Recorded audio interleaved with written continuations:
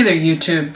This is Kristen, and uh, I'm just coming back from the uh, Nikki Araguz um, hearing in Wharton. Uh, several things. Uh, there were several motions, and um, the hearing started around 10 this morning.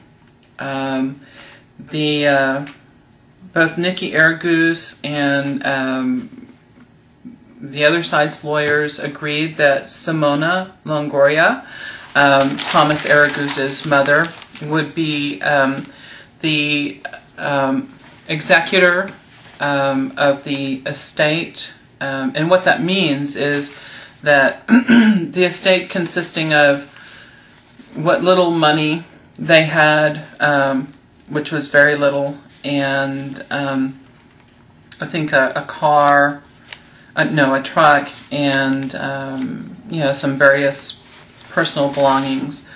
Um, that she would be executor of, of that. Now, that doesn't have any effect on, um, I mean, she's not going to be executor of the um, widow benefits or the kids' benefits or anything like that. That's different than what she's executor of. Um, let's see. The death certificate will be released. Oh, and, and this was interesting, that Nikki Araguz's size, side uh, had decided not to move on um, having Frank Mann removed as counsel. Um, yes, he's still under investigation, but they decided that it's better for him to be on the case.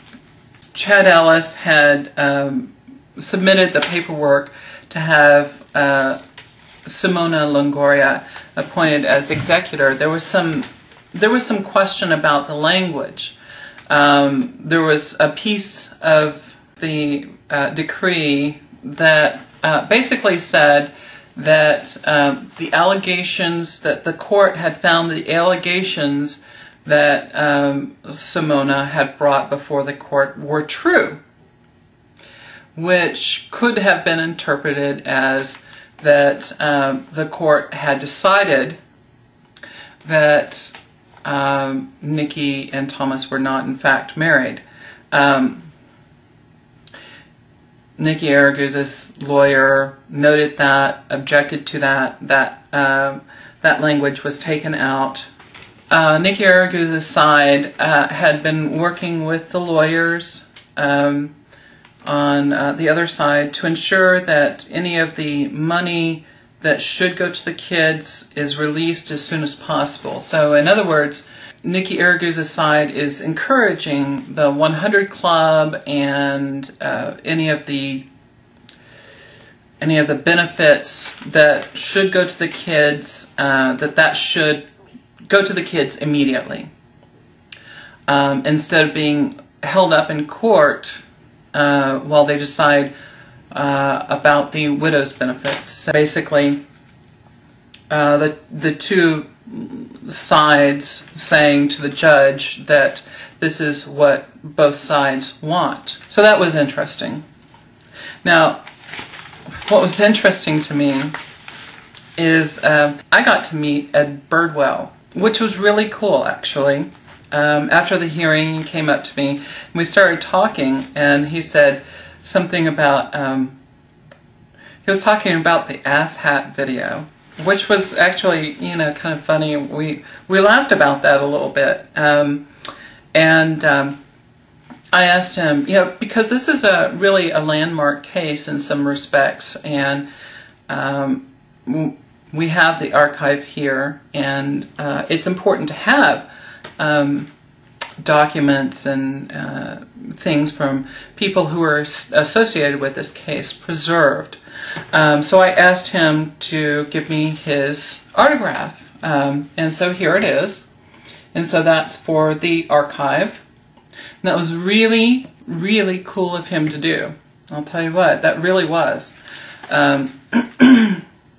I went up to Frank Mann and asked him that, and he kind of looked at me like a deer caught in the headlights, like, what? And he was like, no, no, no, no, no, no, no, and like walked away. and uh, Chad Ellis, his reaction to my question, would you please sign this paper uh, so that it could go into the archive? He looked at me as if I asked if I could kiss him on the face. His just horrified, like it was.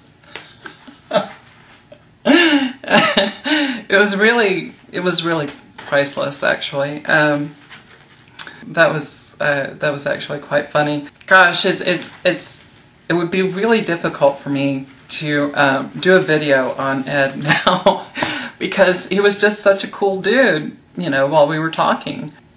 And I got to shake his hand outside court, which was really cool, actually. Several important things were decided in court today, um, and um, it looks like the kids will get uh, start getting some financial assistance at ASAP.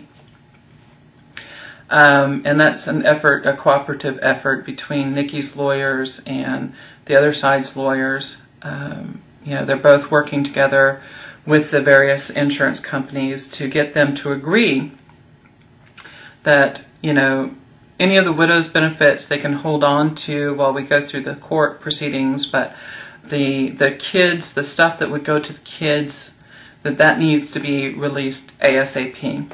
So that's actually really cool.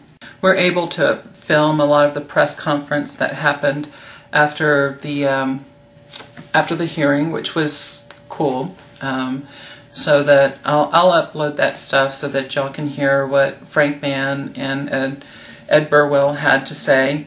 Um, and um, also what Nikki's side had to say. I, I want to thank Mark with Resurrection MCC and Laura from um, Grace Lutheran uh, for being there today. Uh, that was really cool. And uh, so we'll probably be looking at having discovery done by the end of the year. It's going to be a little while before the next hearing. Peace.